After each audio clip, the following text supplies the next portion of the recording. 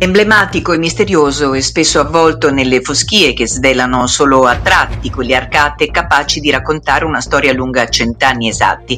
Parliamo del ponte di Roana, del quale proprio ieri si è celebrato il secolo di vita da quel 24 settembre 1924, quando venne inaugurato in pompa magna dall'allora presidente del Consiglio dei Ministri Benito Mussolini collegamento fondamentale tra Canove e Roana, l'attraversamento sulla Valdassa ha vissuto alquanto travagliato.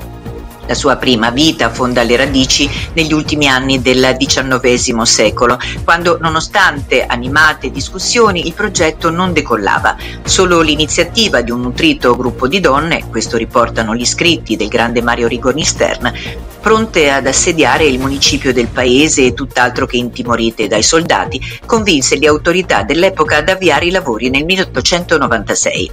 Ultimato dieci anni dopo, venne fatto brillare nel 1916 dalle truppe italiane in ritirata, speranzose così di rallentare la marcia austriaca della Strafespedition. Sotto le sue ampie volte, prima della distruzione, volò più volte anche l'intrepido Arturo Ferrarin.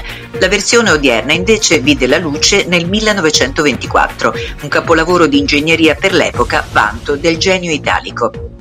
Ieri in tanti lo hanno celebrato al culmine di una settimana di eventi dedicati allo storico manufatto, dagli amministratori di tutto l'altopiano al gran completo guidati dal padrone di casa, il neo sindaco di Roana Luigi Martello, all'europarlamentare Elena Donazzan, sino al presidente della provincia Andrea Nardin, oltre naturalmente a molti turisti e curiosi.